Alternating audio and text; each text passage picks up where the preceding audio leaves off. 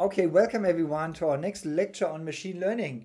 Today we continue with dimensionality reduction. However, we now go beyond these classical methods which are like 100 years old and now look at very recent methods where very recent here means like they are now I think already 20 years old and they kind of like 20 years ago I think in the year 2000 ISOMAP and LLE was published, and they were like starting again, like a lot of interest in these kind of dimensionality reduction methods. And we will learn all about it today.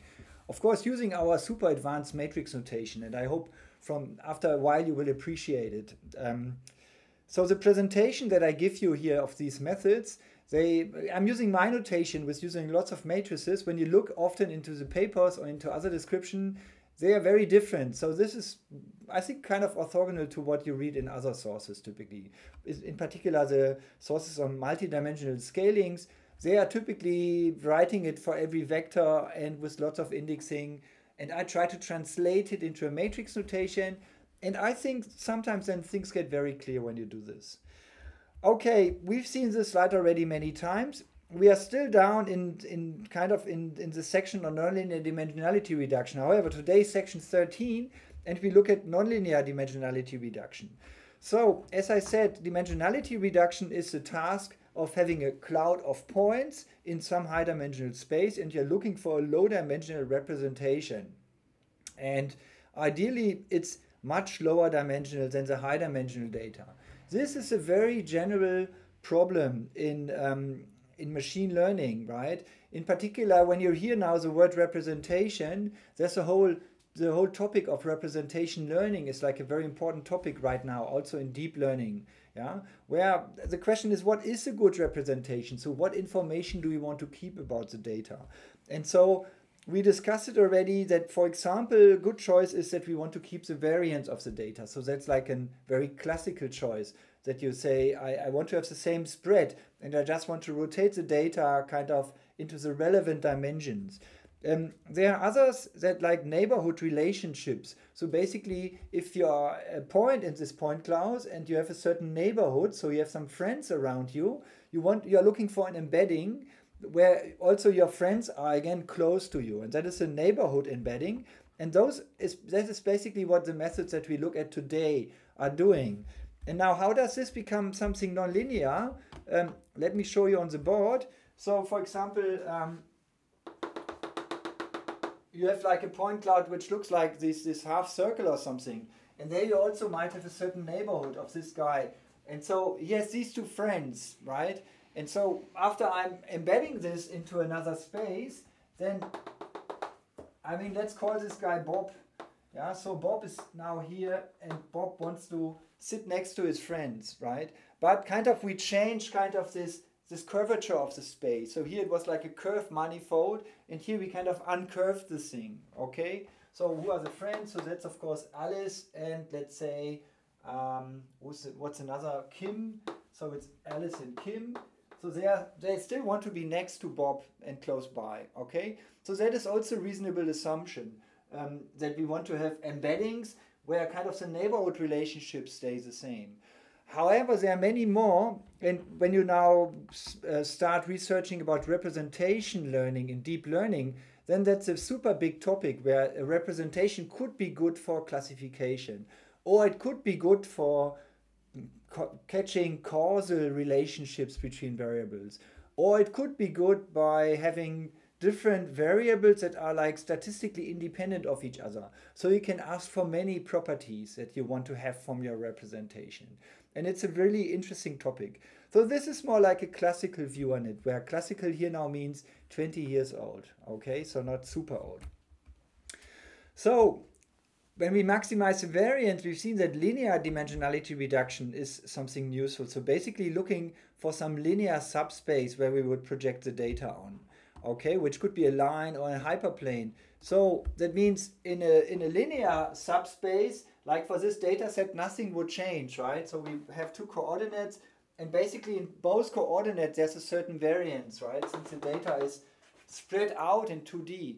However, when we look at it, actually we see that there's a one-dimensional space, but we can, but the one-dimensional space is curved, so we cannot um, catch it with a linear method so for that we need some nonlinear method, okay? So and then typically we talk about curved subspaces, or maybe we use the word manifold, for example, okay? And basically we are searching for, uh, for curved plane or curved sheet of paper in a high dimensional space. And in principle, if you are in four dimensions, also a 3D space could be curved inside a four dimensional space, and so on and so forth. But it's kind of hard to imagine. Um, so the word manifold actually is from mathematics, and the word manifold means that you have some object in a higher dimensional space which is like inherently lower dimensional. But what does it now mean? It kind of means that if you take a point on such a subset of the high dimensional space and locally it looks like a Euclidean space. So locally it looks like a linear space, right? So this is the example with the with the, with, with a rolled piece of paper, for example. Oh, you can't see it very well. Let me make it bigger. So you have something, so this is now, this would be a curved space, but when I'm standing right here in a certain neighborhood, I'm in a linear space. So it's kind of flat, locally linear. And so the mathematical description of a manifold is typically that you say at every point of the set, I'm having locally, I'm having like a map, which is like looking like a tangent space or something. And then by connecting all these tangent spaces together, I get a manifold. However, you can also get something weird like, like a connected manifold, which looks like this. So where the whole thing cannot be embedded into a two-dimensional space because you would have to cut it. Okay, so typically these kind of methods, they don't cut the data, right? That's why I left it open over here so I can open it reasonably, yeah?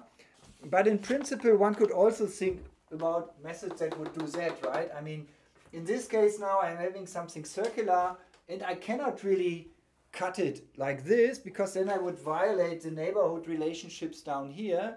However, I could find a parameterization with uh, whatever, with an angle or something. So if I would infer an angle from um, 0 to 2 pi, so that could be also one-dimensional embedding for such a space, right?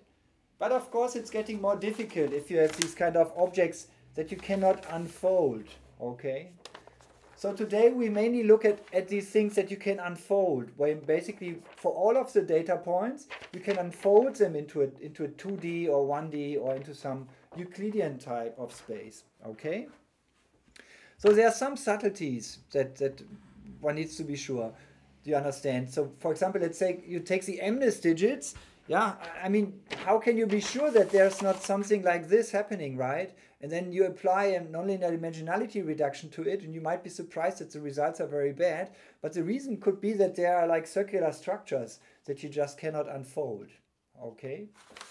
And um, yeah what what circulars how could you get a circular structure by the way with the MNIST digits? Um, you could take an MNIST digit and you rotate it right? You, you make one round of the MNIST digit this gives you images of an 8 and of course, like the, the 8 that is like on the side doesn't look very much like an 8 anymore. It more looks like an infinity sign. But if you do the full rotation, it corresponds to a full rotation or to a, to a closed line in the high dimensional image space. Okay, so if you rotate an 8 and have a, a full round, basically you're having such a closed loop in an image space. Okay, and for example, if you have a picture of a hand, I, I rotate it and do it the full round, Basically, that is also making a closed circle in the higher dimensional space.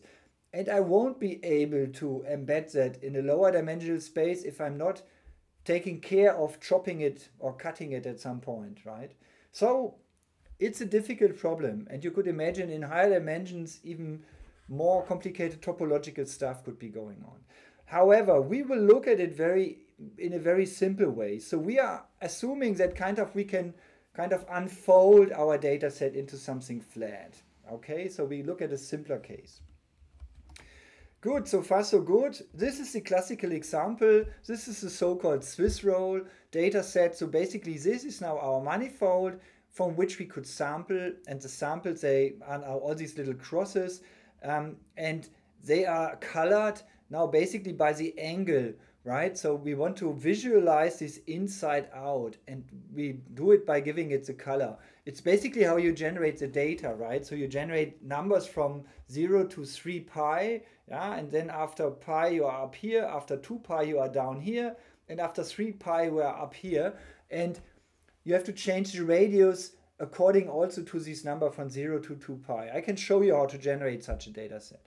And then basically you can sample from it and you color it for the reason that when you find a two-dimensional embedding, you see right away whether you did a good job or not. If all the colors are completely mixed up, yeah, then you know that you didn't fulfill this neighborhood relationship. However, when I see that the red points are close to the other red points, then I can see just by looking at the image that the embedding worked and that they preserved the neighborhood relationships. Okay. Okay, so far so good. Um, I can also show you how to generate the data set since I'm at again fun with some programming here. So this is now the, the, the latest notebook. I tell you about MDS later, but here comes the Swiss roll. So this is the Swiss roll thing. And so how do you generate it? Basically, your um, the, the way to, to do it, you are sampling um, uniformly from a two-dimensional sheet of paper, right? So you have two coordinates and you uniformly sample from it, and then you do the nonlinear transformation to roll it up. So, and how do I roll it up? Um, first of all, I scale these numbers from 0 to 1. I scale them to 3 times pi, right? Since I want to have one and a half round. That's how it was on the image. And then I take the first coordinate and say this is now the radius of the points okay and at the same time i'm using the first coordinates and feed it into cosine and sine. And then they generate me the coordinates that go in a circle and by multiplying it also with these changing radius i'm getting a spiral. Okay?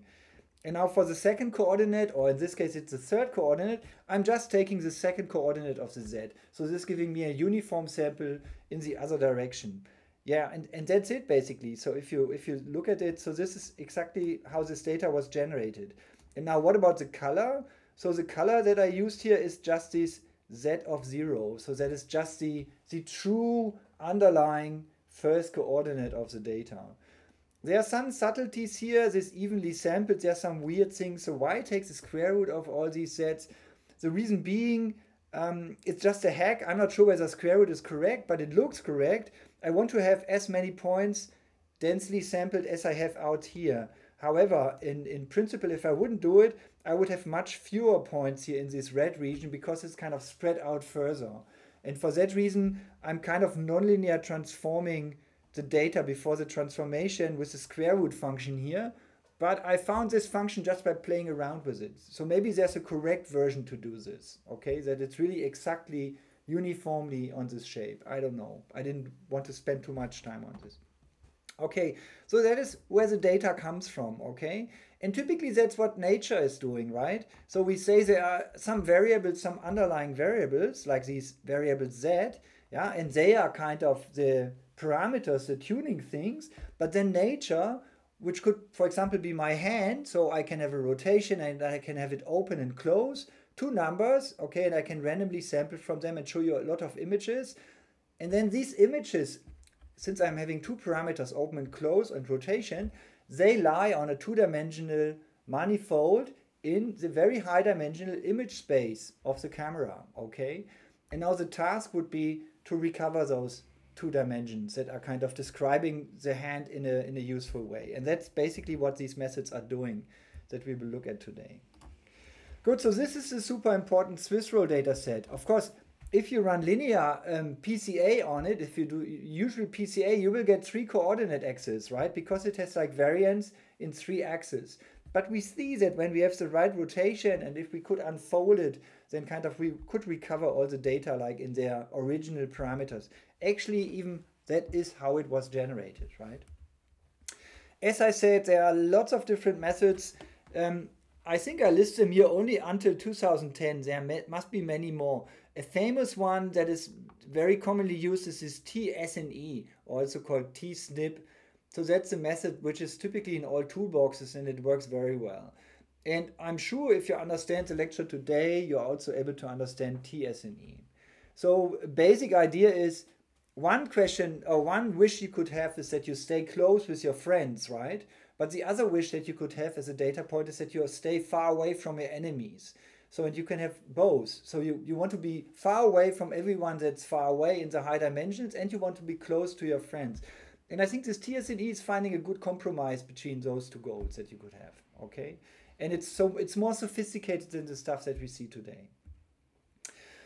So this a uh, lot of discussion was was started with two very important papers that both appeared in this in a single issue of Science. So there were independent researchers, Josh Tenenbaum, Vin De Silva, and John Langford, and another group of people, um, Sam Roweis and Lawrence Saul, um, who came up with two different solutions to this nonlinear dimensionality reduction problem. And I'm just wondering where are they sitting and actually, so, okay, so the left-hand side paper is a group from Stanford University, so that's West Coast, USA, and the other group is here from the Gatsby unit in London. So they're really on different continents.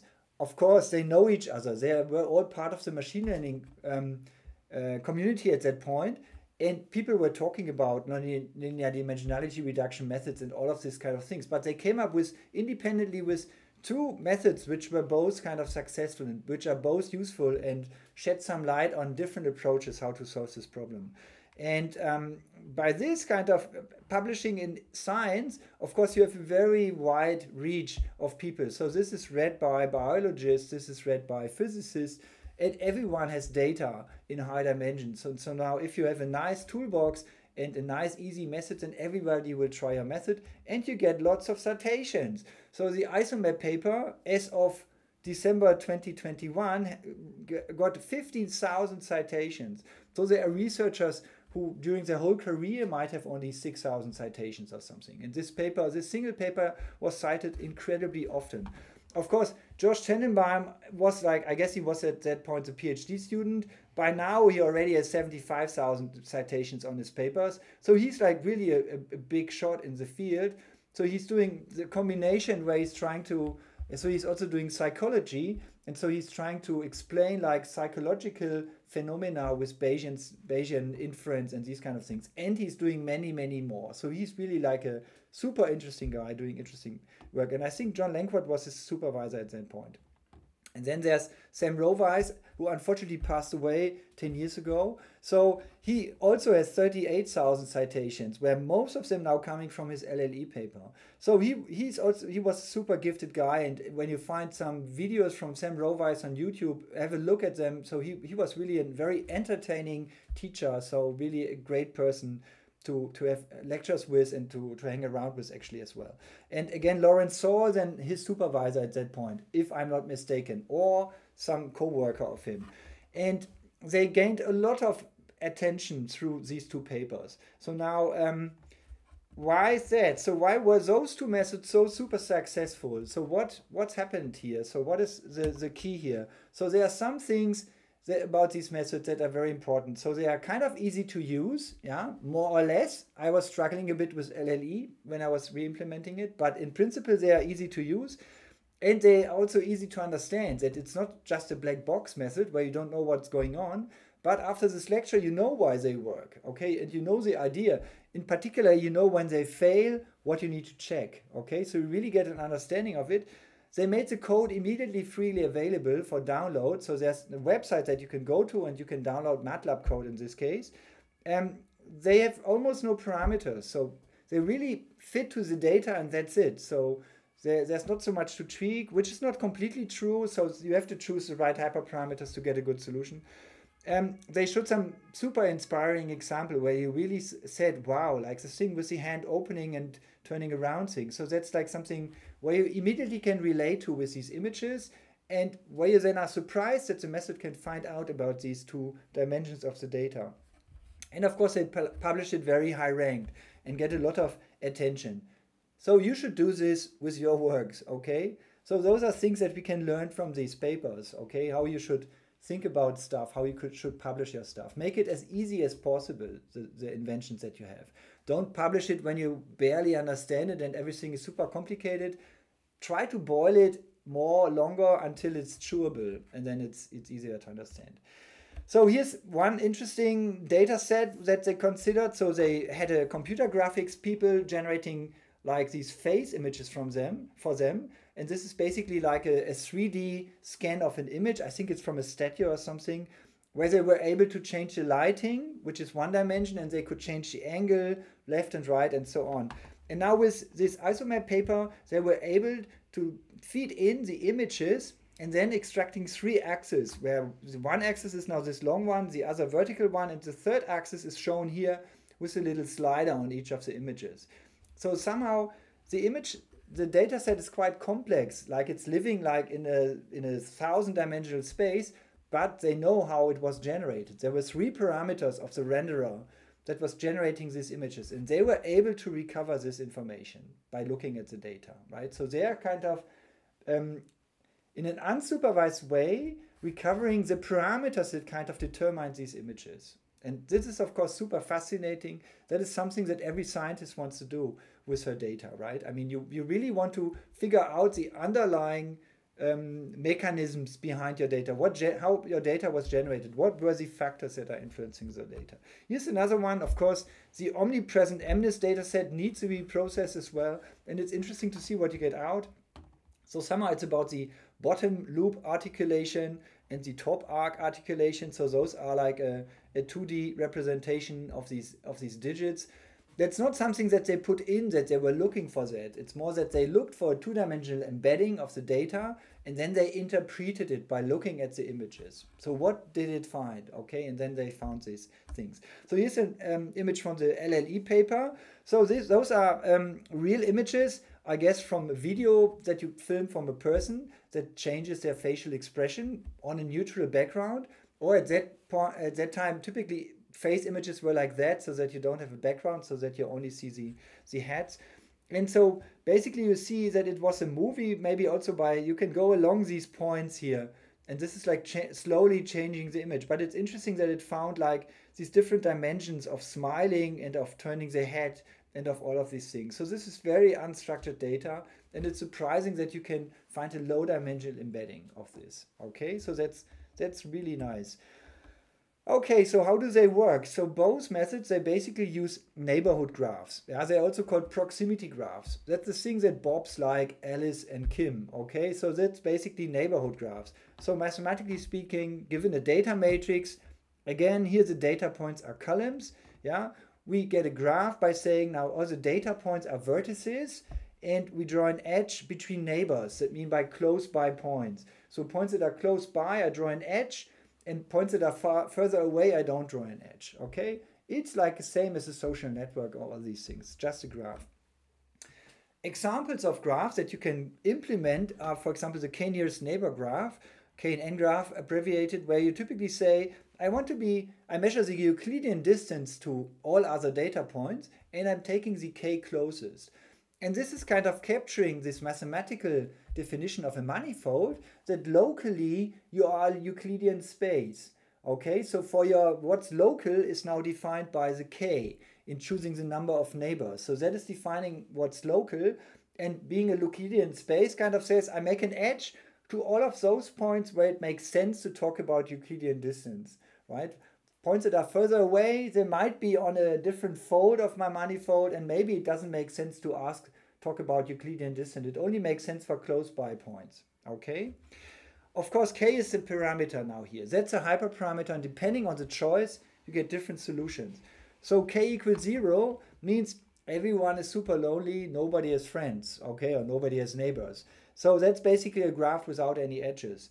If k is equal to n, or maybe n minus 1 to be precise, um, in that case, everybody is neighbor of everyone else. And it basically means if you would do an embedding for those, you cannot change anything because when you change one point, then the distances to all other points will change. So you cannot really nonlinear transform anything if you take k to be all data points. So the sweet spot is somewhere in between, where basically the neighborhood that is defined by the K is capturing basically these local neighborhoods that corresponds to this local local linear space, so the tangent space kind of thing, okay? Then there's an alternative, the so-called epsilon graph, so also super simple. Basically, you say my neighbors are those that are closer than epsilon. Okay, that's it. And of course, epsilon here is another parameter. And you could again ask epsilon being equal to zero means everyone is alone. Epsilon being equal to infinity means everyone is a neighbor. So there's an interesting, so which one should you use? So both have their merits and both have their disadvantages. So the epsilon, of course, depends on the scale of your data, right? So suppose you say epsilon being one centimeter, right? But then you are blowing up your data set by scaling up the data and then the graph will change. This won't happen for the k nearest neighbor graph. So the k is independent of um, the scaling of your data, okay, which is a nice property. Um, however, sometimes the epsilon graph might be also good because it kind of ensures that you are ensured that you, you catch a certain neighborhood around you. So that could be something useful in some applications. Good, so now what is the basic idea of isomap? The basic idea of isomap is um, start with this Swiss roll data set, for example, and then define a graph which is going along the manifold, right? So a graph which is kind of capturing the local neighborhoods along the manifold, and then you're calculating the geodesic distances between all data points. So visually that means um, if you have two points on the Swiss roll, uh,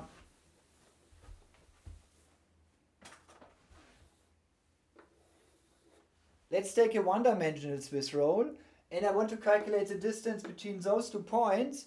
I go along the graph where the graph is also going along this manifold, okay? And um, here it's approximately the Euclidean distance. But if I have this point and that one, the Euclidean distance might be close, but if I would go along the graph, the geodesic distance, it will be large. And you see already where this is going. If this is the relevant distance going around here, there's no problem of unfolding it. Uh, let me also show you visually. So I have it in my notebook here. So, so this is now the graph. So where do I have, okay, so here you see now how the graph would look if we calculate such a neighbor graph. And here you have some shortcut, okay? So this is a bad one. So that basically means I, I had too many neighbors. So I should decrease the number of neighbors here maybe to 9. So let's generate the k and n graph. I still have it. So let's decrease it further. It's getting worse. Okay, so what am I doing? Oh, I'm resampling the whole thing the whole time. Okay, I shouldn't do that. So I should keep it constant. And uh, let's say I'm taking more data points. Okay, let me sample it again. Let's say 300, 400 data points, and now I'm, I'm looking for 10 neighbors. And then, then you can look at it, and ideally, okay, now we don't have any shortcuts, okay? So what you now see is that I have a graph which is going along the manifold, okay, which is now, if I want to ask what is the distance from this point to the point over here to the yellow one, the Euclidean distance would be quite close, but the distance along the graph would go all the way, find a path from one to the other. Like the, this graph is like a street map that you have, okay, and you really have to go through these things. You cannot beam yourself to another location. Another example would be you, an, you are an ant and you're sitting on a leaf on a tree, okay, and you want to move to another leaf. Typically, what you have to do at being an ant, you have to go back to the trunk and then you can go the other branch to the leaf. So the path could be very long along this structure, and there could be, if you could jump or if you're a fly, then you can use the Euclidean distance. Okay, so flies, they like Euclidean distances, ants, they like geodesic distances. Okay. Good, so far so good. Let me switch back to the slides. Is that right? Yeah.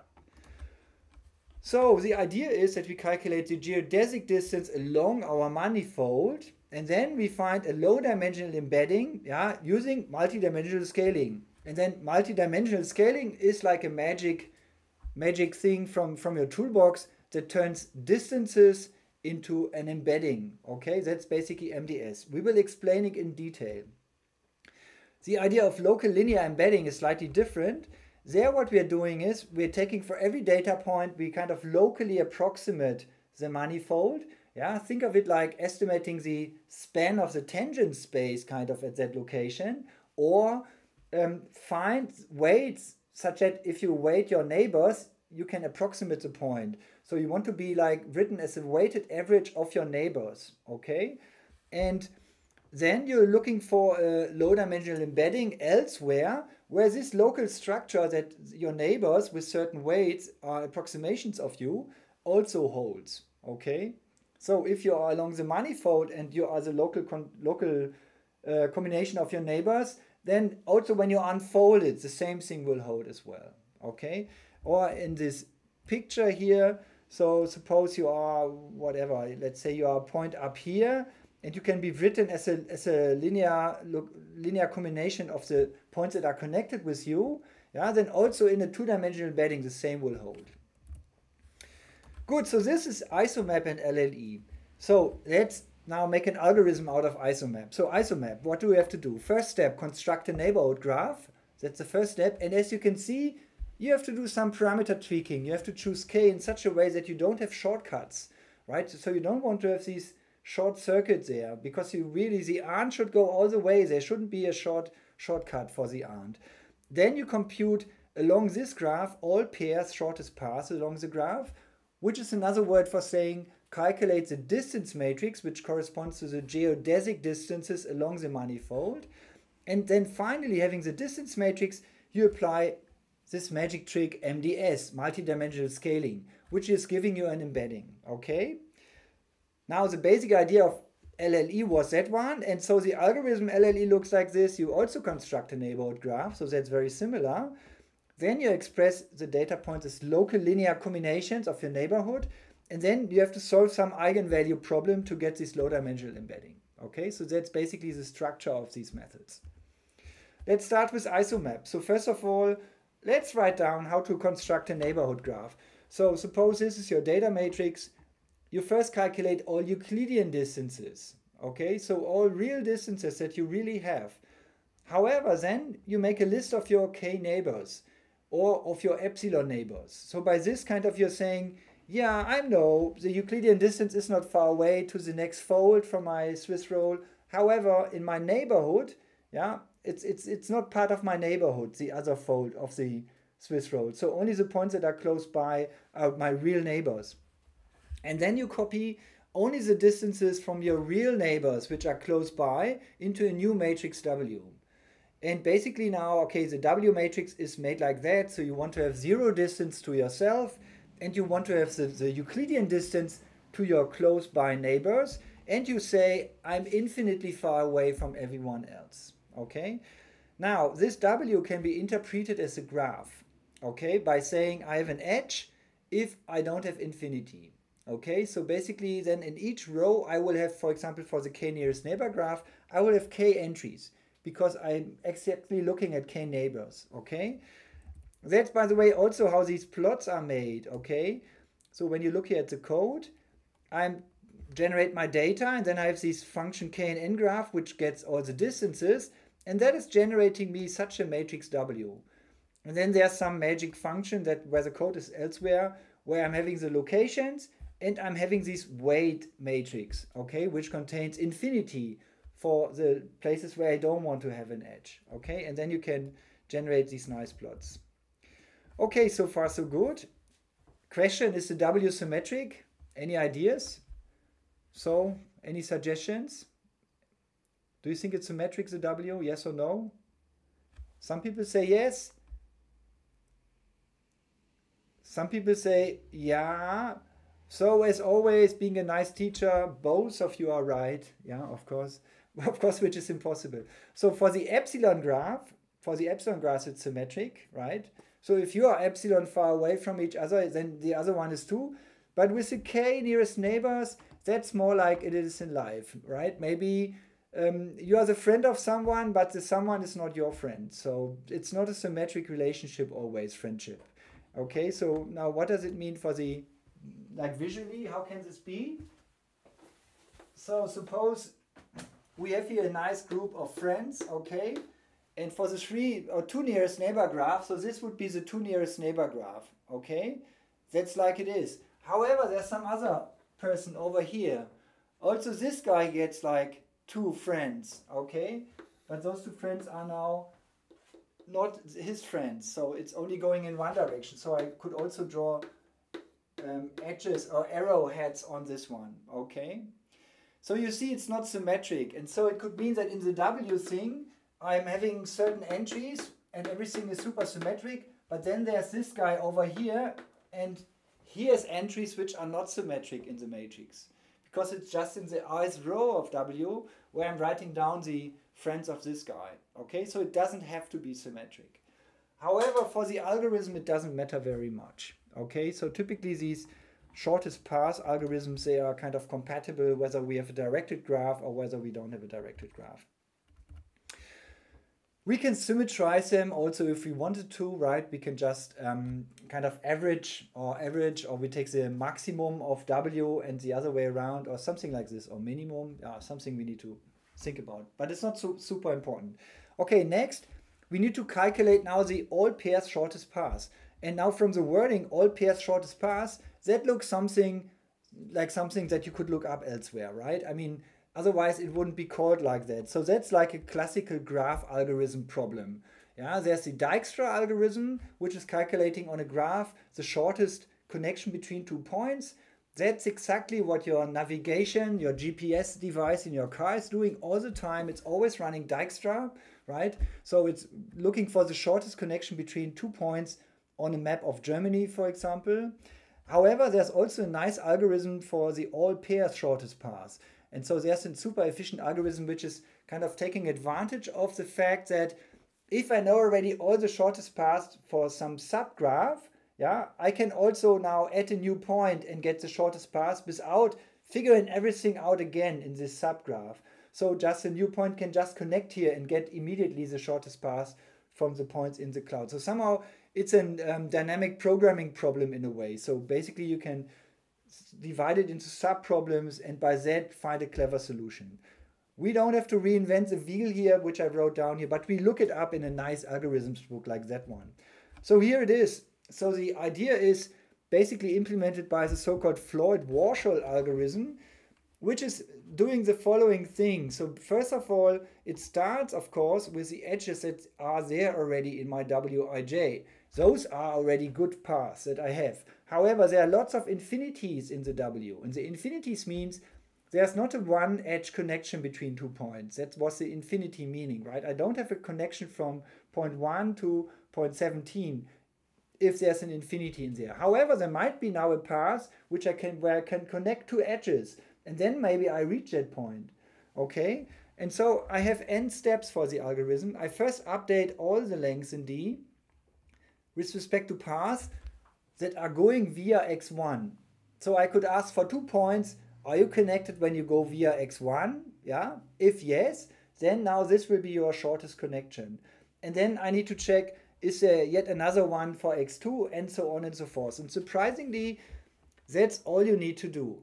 However, when you look at the implementation, you end up with three loops, okay? So basically you have to do the whole thing k times yeah, iterating over all the extra nodes that you can use for finding a new shortcut.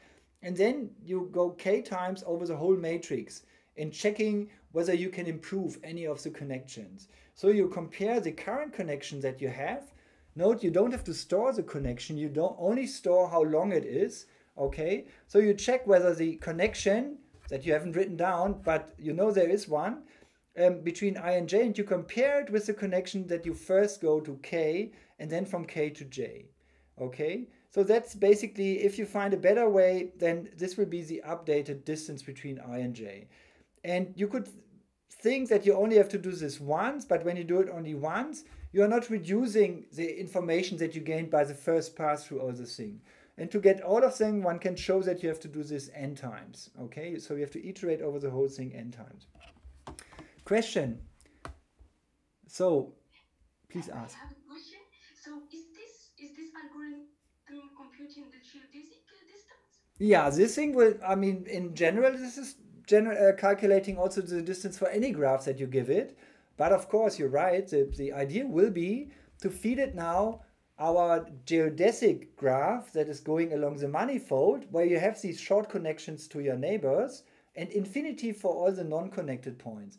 And then our Floyd-Warshall algorithm will calculate now the distance matrices for all possible points. And the distances will go along the graph, and by this we are then calculating the geodesic distances. However, the Floyd-Warshall algorithm um, can be applied to any general graph. Okay, I guess that's also how Tenenbaum and colleagues came up with this idea. So they were paying close attention to all their computer science lectures, in particular also to the graph lectures, where this super fancy algorithm was um, presented, and then they thought, man, we could apply to dimensionality reduction in our machine learning research. So let's try that, okay?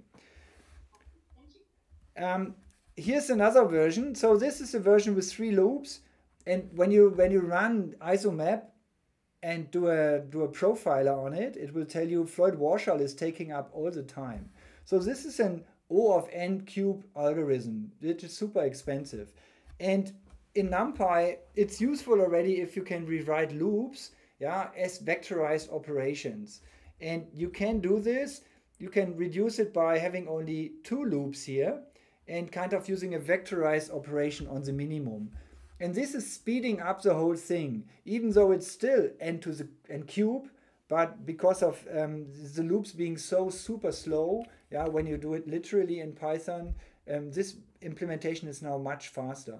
And if one of you finds a Floyd-Warshall implementation vectorized or matrix-wise, yeah, with only one loop, I'd be interested in it. I would include it into the code here too. I only found that one. I played around with, with one loop, but I couldn't get it to work uh, quickly enough. Here's my classic MATLAB implementation, just the same code. Okay, so far so good. So we have point one, we can now calculate neighborhood graphs. We have point two, we can now calculate all pairs shortest path. And three is now missing. We need to do multi-dimensional scaling. So what is multi-dimensional scaling? Okay, for this, um, let me first have some words in a nutshell. MDS is solving the problem that given a distance matrix, yeah, recover a data matrix that matches those distances. Okay, so you start with a distance matrix and then you get um, something like that. So I show you some data that I think I copied it from a roadmap I found in my car. So here's a list of cities. Okay, those are all German cities. And this is basically this kind of distance table that you kind of find sometimes in old road maps, right? So I always still have a paper version in my car because I don't trust technology very much. So I really want to not get lost anywhere. So that's why I have a paper roadmap. And on the back of the paper roadmap, there are all these distances. For example, 545 kilometers, that's the distance between Aachen and Basel, okay? And so on and so forth. So the fifth line here will be all the distances of Dortmund to some other locations, okay? So I guess you are familiar with it. And now the magic trick that MDS is doing is take this table here, yeah, and turn it into a map of Germany, okay? That's super fancy. I think this is super surprising that it works, and it works very well. I mean, so here's Flensburg and Rostock. Okay, it's it's mirrored, so I need to change the mirroring, but um, it's quite good. So here is Düsseldorf, and down here is Stuttgart, Basel, and Salzburg, München, and Garmisch, Partenkirchen, and so on and so forth. So that is MDS. MDS is taking the distance table from a road map and turning it back into a map. Okay. Of course, the distances are in kilometers on the autobahn. They are approximate Euclidean distances, so it's not exact, right? In principle, you could also generate such a map from taking the travel times. If you say the travel times are proportional to the distances, you could also take the travel times. Or you get a very funny, interesting 2D embedding, for examples of cities in Germany that you that are connected by plane or by train or something. Good, so let's try to derive this method. So suppose we have a data matrix. Let's assume the mean is zero, right? The mean is arbitrary anyway. Moving around a map doesn't change the distances in it. So we can always assume that the mean is zero. Let's define the gram matrix. That's just now a repetition slide here. So the gram matrix was the one with the inner products. Then there's the covariance matrix, that's the one with the outer products, okay? And then there's the squared distance matrix. Here the D is a squared distance matrix. And that was the biggest challenge in my implementation things, that I kind of forgot which algorithms need the distances squares and which one does it not need squared. And that's something where you need to be careful. So let's look at it. So basically the entries are now the Euclidean distances between two data points and that can be also written like this inner product, as we've seen already a couple of times. Great, so those are just names. Now here's multidimensional scaling, and we will go through the different points. First of all, we um, calculate the gram matrix G from our data matrix, and that is the magic, yeah, because somehow here are all these inner products, but how do you, so we know how we get from the gram matrix to the data, to the distance matrix, but it's kind of magic that you can do it also the other way around okay that you can go from the distance matrix to the gram matrix That's kind of surprising to me. Once we did that, we're calculating the eigenvector decomposition and by this getting kind of like a square root, a matrix square root of our gram matrix. And this matrix square root then will be exactly our data matrix, right? So if you multiply x transpose times x, you have exactly this equation and you get back the gram matrix. Okay, so the difficult step is getting from the um, distance matrix the gram matrices. Okay, so here are a couple of nodes. So the mean is arbitrary, of course, right? And also the data can be arbitrarily rotated. So that's all meaningless for the distances, right? So now, how can we calculate the gram matrix from the distance matrix? That is the puzzle that we need to solve here. So for this, we need this lemma, yeah? And this looks a bit horrible, okay? So let's first skip it. Here's the theorem. So here's the formula. So suppose we have a data set X with mean 0, then we can use this formula. You take the distance matrix and you multiply from the left the centering matrix H and from the right the centering matrix H, then minus a half, and then this gives you the gram matrix. Okay? So to me this formula is super surprising, so I couldn't invent it. Um, however, when you write it out, this HDH, and now you use all the stuff from the lemmas from the previous page, you can show that this is indeed minus 2 times g. Okay, so let's go back to the lemma. So what do we need? So we need these things. So first of all, um, we need to understand that the square distances can be calculated from the gram matrix. Okay, so let's write this out. So the entry dij is written can be written like these inner products. So we are basically multiplied out this definition of the distance. Okay, I just wrote it now with inner products. And you can see, so for the i's row, I always need this norm of xi. And for the j's column, I always need the norm of the j's column. Okay. Now I just need to translate this formula over here into a vectorized formula, which I did down here. Let's start with the simplest thing here. So the entry dij depends on minus 2 times the inner product between x1 and xj. Those are exactly the entries of my gram matrix. Okay, so vectorizing the last bit here is the simplest one. It's just minus 2 times g. So now what about the other parts? So for this, let's have a look. So first of all, we need these entries of the gram matrix which live on the diagonal, right? So those are the ones that are on the diagonal, the one xi, xi. I get them by taking the gram matrix and dot multiplying it with the identity matrix. So where dot multiplication is just this component-wise multiplication, I'm basically zeroing out all the off-diagonal terms. And I'm just keeping our matrix where I'm still having the same diagonal entries, but everything else is zeroed out.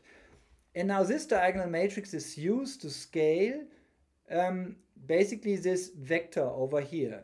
So by multiplying it from the right with the one vector, maybe let's do that on the board. Okay, so what's happening if I do this? So we are already happy maybe that we have the diagonal matrix. So let's call these things, uh, or let's call it uh, whatever. Uh, let's just write it out. So it's x1, x1 transpose and x2, x2 transpose. Okay, that's how the matrix looks after dot multiplying it, or so after Hadamard pro product with the identity matrix, then we get this one. Okay, so far so good. Now let's multiply it with the one vector. So what we get is row times column, row times column. So this thing will be exactly like um, a vector now.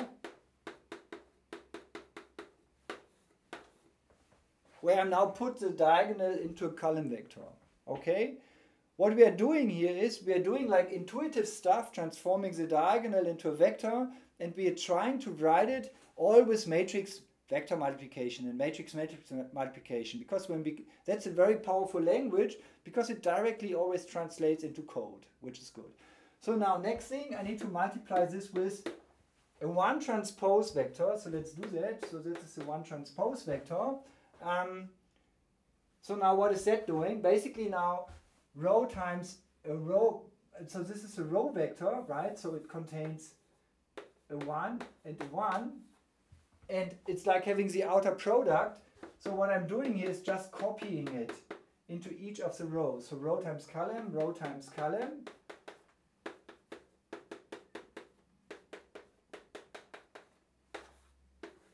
Okay, so it's just a broadcasting type of thing. So I'm having it in a vector, and now by multiplying it with the one vector, for example, of size n, yeah, I can now broadcast it and get, getting an n by 2 vector in this case. Okay, so this is a way to write the broadcasting operations with matrices and vectors. Okay, again, the nice thing is when you can translate the NumPy expressions into this kind of notation, you can use matrix differential calculus to calculate arbitrary derivatives in this world, right? Which is super useful.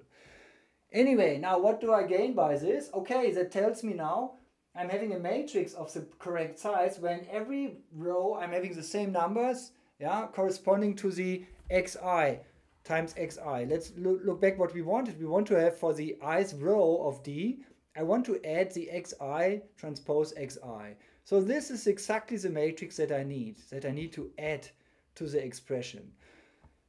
Now the xj, xj is exactly the other way around. So I just need to transpose this expression. Note that this is the diagonal matrix, so the transpose is the same. And I'm just moving the ones to the other side, okay? So for that reason now, this is an expression for my distance matrix here, written in a fancy way, okay? Good. Second point. Again, as words, if I remove the mean from the so-called ones matrix, yeah, the result will be the zero matrix.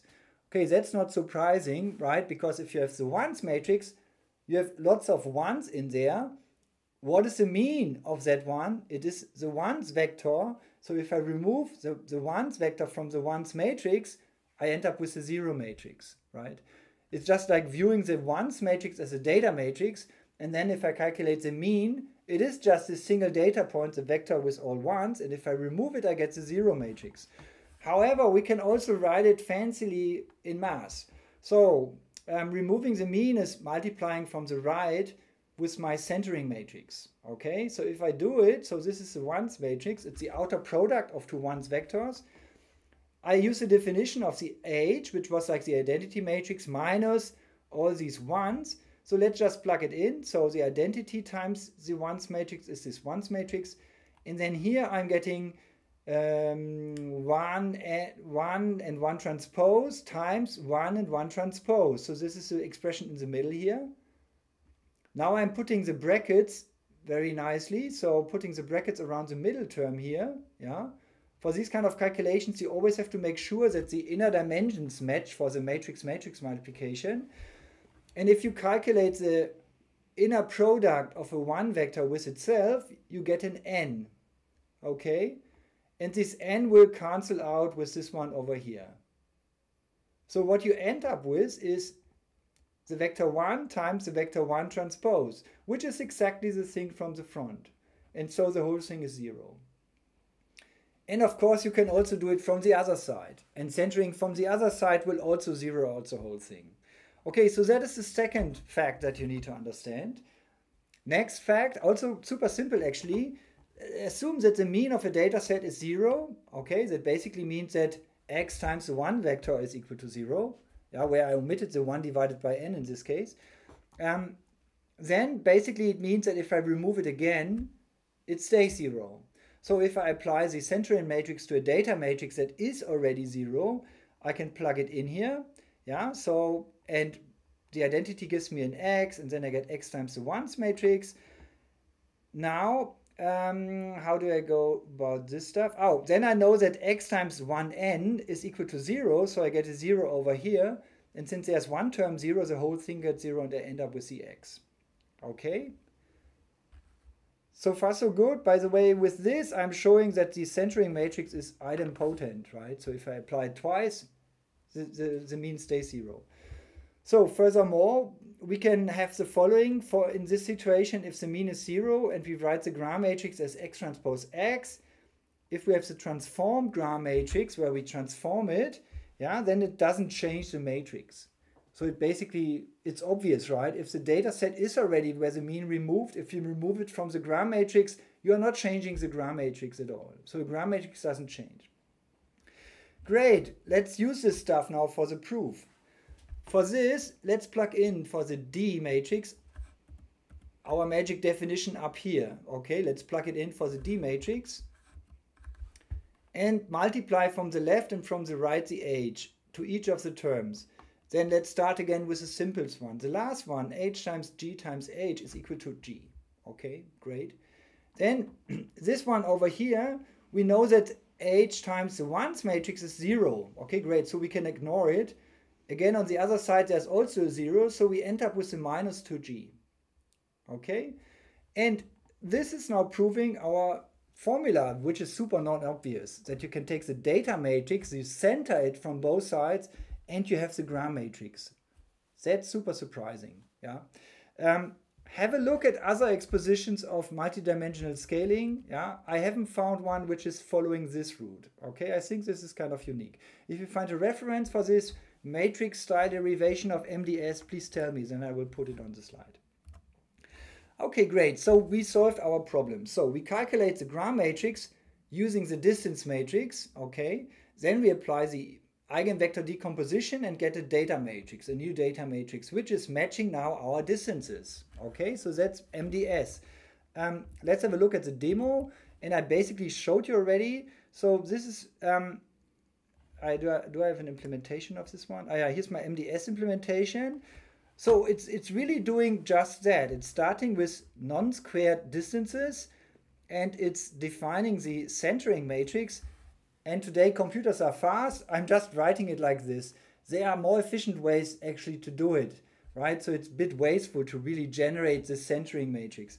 But it makes really nice code, right? So this code looks exactly like on the slide. And so we really can be sure that this is doing the right thing. However, there are more clever and more efficient way to remove the mean from a matrix from the right and to remove the mean from a matrix from the left. So you can also use some Python broadcasting tricks and have a short expression for that one, which is more efficient. Then we calculate the eigendecomposition using our linalg um, methods.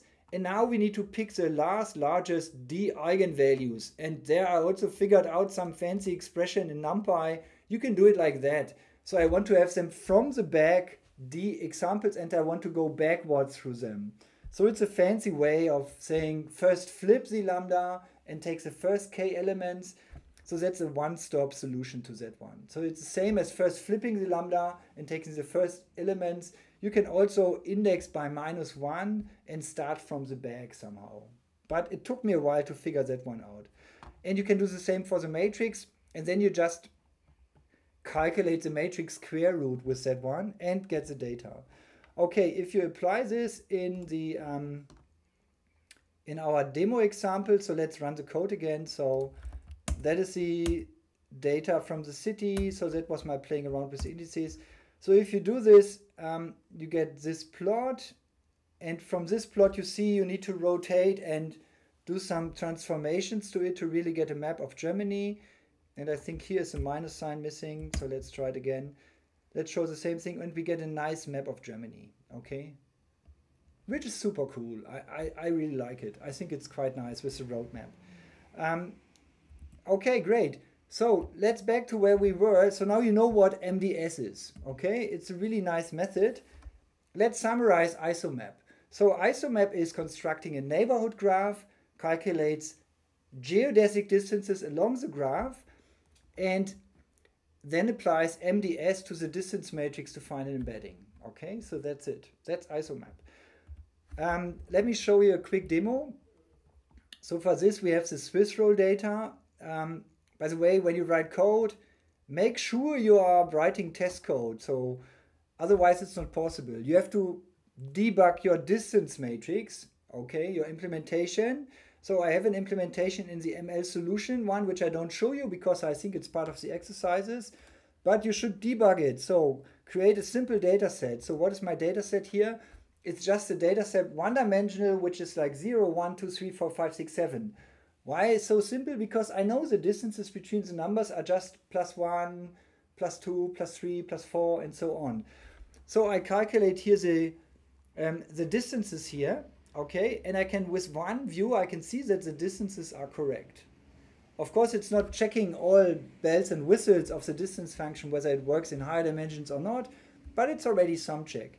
You might wonder what this what is function is. So that's like a super simple, um, super simple thing. So I just implemented some function that takes an expression string, prints the expression into equal sign, and then it evaluates the expression.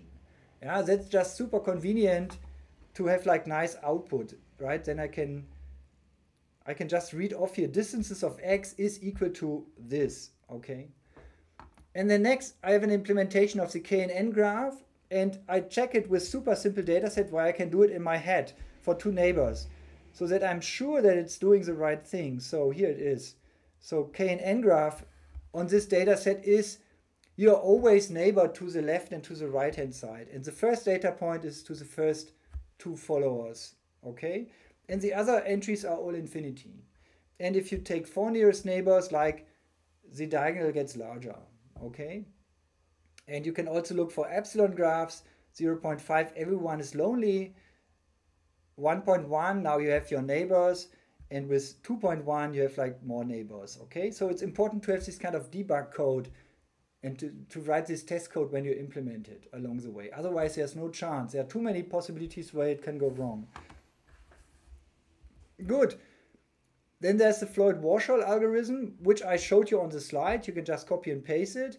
And also here I'm looking, I want to see whether there are still infinities missed, right? If I have infinities in here, then my approximation didn't work very well. So I was using this code also to figure out the solution for two loops.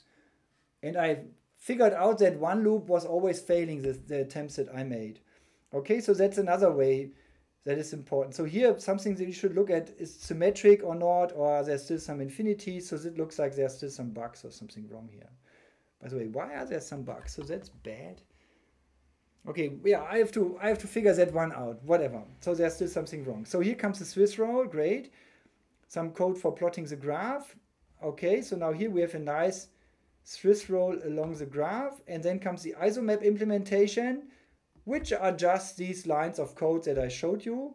And um, I could show you the embedding. And the embedding then looks like this. Okay? And now this is a two-dimensional embedding. So it's the output now of the isomap. You get like y1 and y2. And I'm using the colors for my variable z. Okay? And by this, I immediately see, wow, this works very well. I mean, when you look at the manifold here, um, you see that sometimes there are some holes right? Up here there are some holes. Of course, those are harder to catch correctly, right? So there are close by points where you don't have connection with, and you're kind of taking detours and trying to find an embedding for those which might not even exist. But overall, it's it's working very nicely. Of course, let's see what's happening if we would have shortcuts, okay? Maybe 1000 data points is a bit too much. So let's take 500 and let's see whether we get shortcuts any shortcuts? No, no shortcuts. But we have this, it's like broken there. It's like very open. So let's see how the embedding looks like. Ah, it didn't work. Okay, it looks like there's some other technical problem. Ah, no, this is very bad. So, okay, this is demo time. Demo time is not always working. Um, there could be many reasons. Let's create a graph with some shortcuts. No, still no shortcuts. So let's have more of them. So let's create more. Okay, now, now we are getting some shortcuts, but not enough. Ah, I want to have more shortcuts. Okay, let's just take fewer data points. And let's take here, maybe by the way, we should call this k. k being equal to 20. And then also use for the isomap the same. So now we have something that is messed up, okay? So this has shortcuts. Let's see what the isomap embedding is. It can't really do it, right? Because it's still connected at these things where it's like crossed. So this guy is connected to the yellow ones over here with shortcuts. That's why you cannot unfold it, okay? Great. So that is basically the summary of um, isomap. That's it. Isomap is super simple idea. You make a graph along the manifold, generate a distance matrix, and then you use this roadmap these paper roadmap algorithms going from the distances to a map. Okay, so that's it. Let's continue with the other method, LLE. So this is a sketch from um, Roweis and Saul's paper. So first of all, first step, you select neighbors and look at this one here. This is not a foot. This is like a symbol for we are in high dimensions. Yeah, I think this is quite pretty choice. So I think that's I should copy it. That's nice. You have a single data point. You pick the neighbors, which are like a little bit more grayish. Maybe you can see it. And then you're trying to represent the, the data point as a linear combination of the neighbors. And this is like making edges to your neighbors. So you're saying, I want to be the linear combination with the weights in my matrix W of my neighbors. And then you look for an embedding in a lower dimensional space. That's why the foot is gone. Yeah, where the relationships to my neighbors is still the same. Okay, so that is the whole idea. So those are the steps. So we need to select neighbors. That takes the k-nearest neighbors, why not? Then we need to find all these weights for each data point. So we could also write it as an optimization problem. We are looking for weights W, where my entries W are only allowed where I'm a neighbor, everything else is zero, okay? Such that I can reconstruct my data basically from its neighborhoods, okay? And then I find a low dimensional embedding where the same neighborhood relationships are fulfilled. Okay, let's see how we can solve it. First, finding the weights. Um, we have a constraint optimization problem, and by now we are experts in it, right? So let's write it down. We want to minimize this guy, subject to the wij is equal to 1 um, when we sum them all up, okay? Um, this can be written in another way. Um, first of all, notice we can solve this problem for each row separately. So we don't have to simultaneously solve this for the full matrix W, but we can take the 17th data point and can try to find the W for the 17th data point. So we can do it separately for each data point, which is giving us a simpler problem here, okay? Let's continue. Let's rewrite the objective. First of all, um, the W summation of the W should be equal to 1, so we can drag in the x into this weighted summation. So we could also say it's a weighted summation of the wj times the differences, okay? It's like saying I'm writing this 1 in front of the x, and then I'm combining these two sums. Then I can rewrite this outer product, this summation here, I can rewrite it as an inner product between these two vectors, okay? Um, and this is basically now can be written as a matrix C. Okay, so this is basically now a kind of covariance matrix. And I can drag out the W even further. So the whole thing here can be written as W transpose times some matrix times W. Okay, so this might ring a bell already. So if I want to minimize this guy, it's like minimizing this guy. And this is like solving an eigenvalue problem, right? I mean, this is like multiplying from the left and right some vector. Find the eigenvector with the smallest eigenvalue.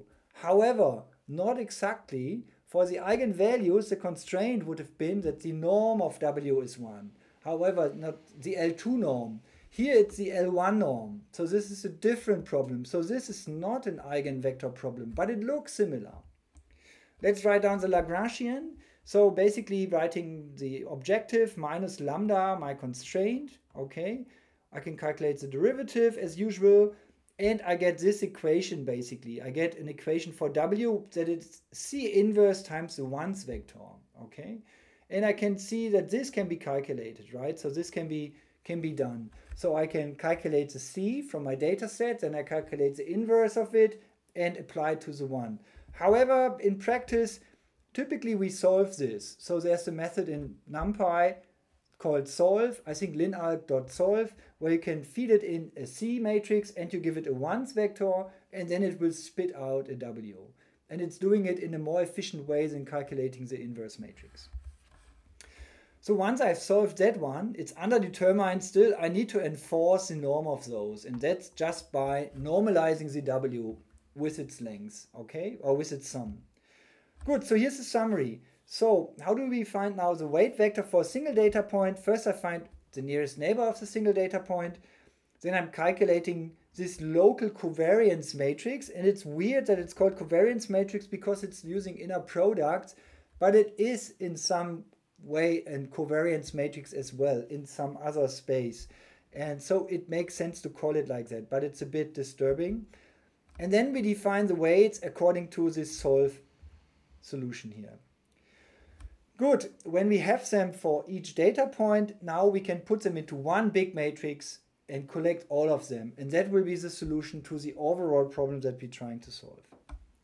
So now, given the matrix W, how do we find an embedding? So the embedding means now we find new coordinates y where we have the same relationships between data points. So the W is kind of our graph, our graph information. Who's our neighbor and and how close am I to it to them, right? That it's in the weight somehow this information.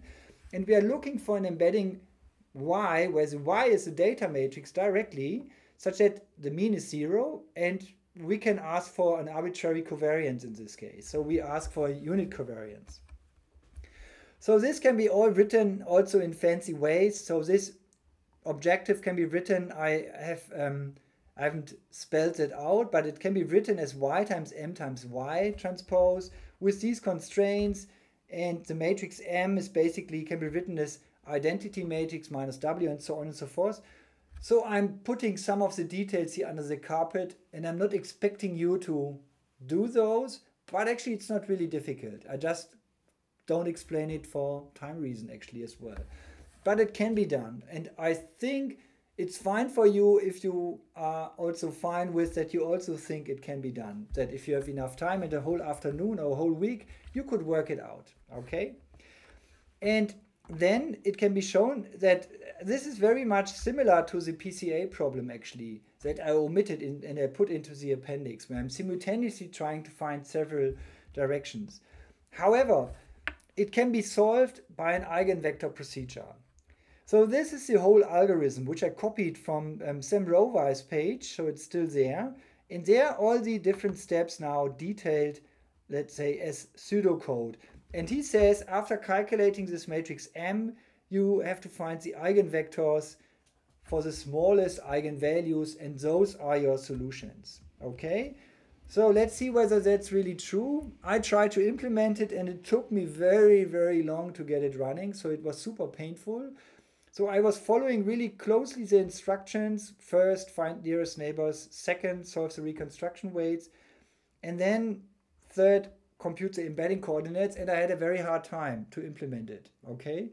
So why is that? First of all, because I had always bugs in here. So I had stupid bugs like this not assigning like the first a certain row, but I was assigning all of the rows with some stuff and so on and so forth. So there were many things that were kind of wrong in the code. The other things is there are some tricks here now, some regularization tricks. So it looks like if the number of neighbors is larger than the dimensions I'm living in, it looks like my matrix C that I want to kind of solve for is like really in a bad shape. Okay, so I need to regularize it and add something to the diagonal. So how did I come up with this super brilliant idea? I came up with it by looking at the code of Sam Roweis himself. So he has it still on their web on his website. And this code is nicely written. And if you really want to re-implement it and the slides don't work, sometimes you have to look into the original code. And there was this kind of hint that if this k is larger than the d, you need to regularize. Okay. However, that wasn't before in my slides, and I thought that's not necessary, and I've overlooked it. So maybe I should look back into the science paper, whether it's in the science paper. I guess it's in one of the footnotes or something. And I guess for people from the with the capabilities of Sam Roweis, it's probably obvious that you have to do it sometimes, these kind of things. Unfortunately for me, it wasn't obvious. But that's just how, how the experience could be. So you play around with it and you cannot get it to work, and then suddenly you kind of get the solution. So now how could you find something brilliant like that yourself? First of all, with a lot of patience. So don't expect the code that you write to work immediately, but always be prepared that it might take some time to get it working. And then put some print statements in here, right? So visualize the stuff that you're doing.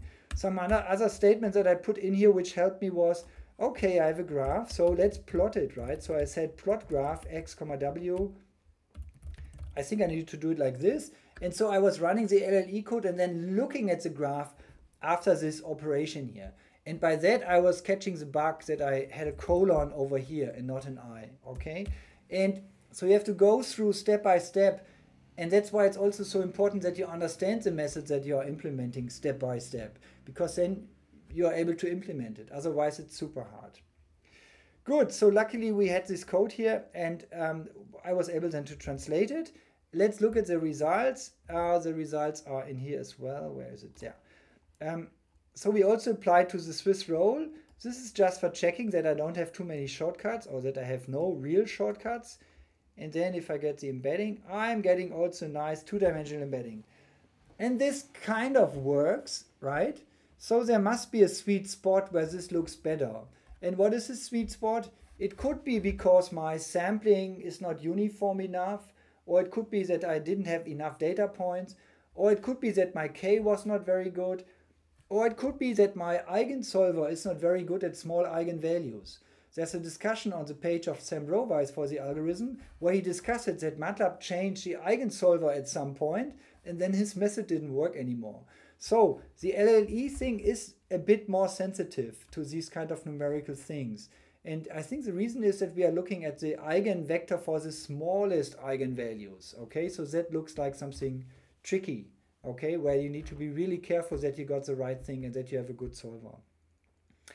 Nonetheless, I like the method a lot because it's kind of a, a, a related but another take on this idea of having like a local local linear space on a manifold and then capturing that like with an algorithm and with a numerical method. So that's why I like it as well. So far so good. Five minutes left. We have another method and I show you just the gist of it, right? That there are many other ways to do this. And this is maximum variance unfolding. And this is nice because it's back in the idea of maximizing the variance, okay? However, in PCA, we are looking for a straight line, like for the like a 1D subspace, for example, that maximizes the variance. This is about variance unfolding, okay? So how does it work? So the instructions is try to unfold the manifold by keeping the local distances constant and maximizing everything else. So that means basically if this is your data set, you're kind of maximally unfolding it. And now I can drag and drag and drag. Like locally, I'm still connected here. Yeah, I cannot tear it apart. And that's how I can unfold it. And no matter how my manifold look like, if my manifold is looking like this, and now I'm doing the maximum variance unfolding thing, I'm getting back the sheet of paper, okay? However, of course, in this representation, you need to make sure that you don't have shortcuts between different layers, okay? So the locality must be preserved in, in this folded version here, okay? Good, so how can you mathematically formu formulate it? Construct a neighborhood graph, and then you solve a semi-definite programming problem. So what is the semi-definite programming problem? That is one other fancy method from the optimization people, right? Who invented many situations where you wouldn't, where you are surprised that you can numerically find a solution. And the semi excuse me, the semi-definite programming problem is yet another one. So, but let's first formulate it, what we wanted to do. Maximize the variance. So find an embedding y, okay, such that the variance is maximized. So that is a fancy way to calculate the variance. As you know, the variance can be calculated by measuring the distance to your sample mean, yeah, but the variance can be also calculated by calculating the distance to everyone else, okay? Actually, there's a curious formula which I don't write down, but so the variance is basically your average distance to your other points in your data set. That's also another description of the variance. Okay, so that's another way to calculate it. So what about our constraints? Our constraints are that if xi and xj are neighbors, they could be k nearest neighbors, they could be epsilon neighbors, then I want to have distances to be preserved. Okay, so I'm maximizing the distances between everyone here, but between my neighbors, I want to keep the distances. And this could be like visually seen like um, you're having a point cloud and you are drawing little strings between your neighbors. So you're really putting literally strings from you to your neighbors, and then you kind of undragging the whole thing and trying to unfold the thing, but keeping the string connections. Okay, it's like having a big, um, yeah, a big network or something with lots of strings, and you can put it together and you can put it out. And that is basically what the optimization problem is doing. Then I can always ask that the embedding should have mean zero. Okay, this problem unfortunately is not a convex problem because the side condition here is also a squared side condition. So it's a non-convex problem. So your this is something like an an, um, an ellipse defining as an ellipse, right? That you want to maximize in an ellipse subject to some other elliptical constraint, okay? Since it's also something with squares here. And that is non-convex problem. However, we can reformulate the whole thing by writing it in terms of the Gram matrix. So the short story is, instead of optimizing over the y, we are optimizing over some Gram matrix. And once we find the Gram matrix that fulfills all of this, okay, we can do our trick to get back, like in MDS, from the Gram matrix, a data embedding. Okay, so that's basically the idea. Now comes a lot of rewriting business and a lot of magic like matrix stuff. Okay, I wrote it all out for you here, but I think I'm I'm not going into full detail. Yeah, maybe a little bit of detail. So if my mean is zero for my data, then I can say something about my Gram matrix. Then basically the sum of all entries in my Gram matrix is equal to zero. That's something that we can show. Um, then we can also rewrite all the distances using the entries in the Gram matrix. That's again the same trick that we've seen before. Okay, so it's just the inner product of xi with xi and xj with xj. And this is basically 2 times xi times xj. Okay. And then using these tricks, we can rewrite the objective function that this variance here can be also written as 2n times the trace of the Gram matrix, surprisingly, okay, which is nice. Um, and we can rewrite all other stuff. We can rewrite again our distances with some fancy formula, and we can then also rewrite our objective function using some, some square distance trick. Anyway, at the end, we end up with this problem. We are maximizing the trace of the Gram matrix and we are optimizing over the space of matrices. So we now have a, problem where we are not optimizing over numbers, we are not optimizing over vectors, but we are optimizing over Gram matrices, okay? And we want one which has the largest possible trace.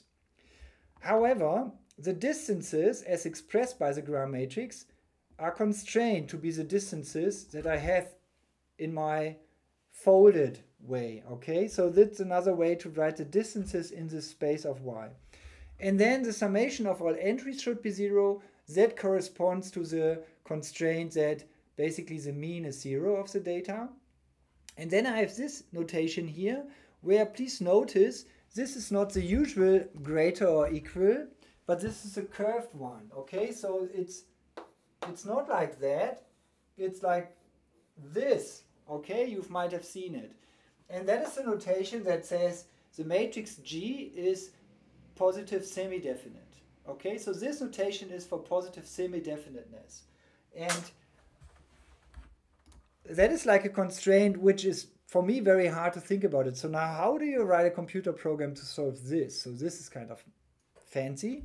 However, it is solved. It's a solved convex problem and you can look into the book from Stephen Boyd and look it up, or you can download an algorithm for this that solves this. Okay? And this is called semi-definite programming, where you now also know why it's called semi-definite programming, because you have a semi-definite constraint on the matrix that you're optimizing on. Okay, that's why the whole thing is called semi-definite programming. And it has lots of variables, right? If you have a thousand data points, this thing will have one million variables to optimize over. Okay, so it is expensive but it can be solved in an efficient way and it will solve basically the maximum variance unfolding problem.